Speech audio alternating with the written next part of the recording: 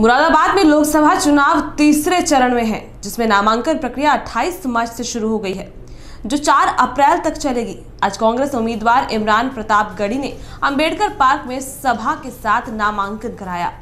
वहीं इस दौरान आचार संहिता की भी जमकर धज्जियाँ उड़ाई गई।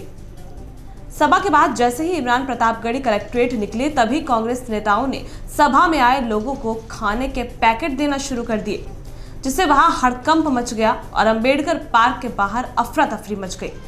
सभा में ज़्यादातर लोग शहर के दूर दराज से इलाकों से आए थे। मेरे अम्मा कहाँ से आई हो आप? रामपुर दुराए से। क्या खाना किसके कार्यक्रम में? नीले जने हम हैं। कितने लोग आए आपके साथ? कोई हमें बारह तेरह जने। अच्छा इमरान प्रतापगढ़ी के कार्यक्रम में? हाँ हाँ।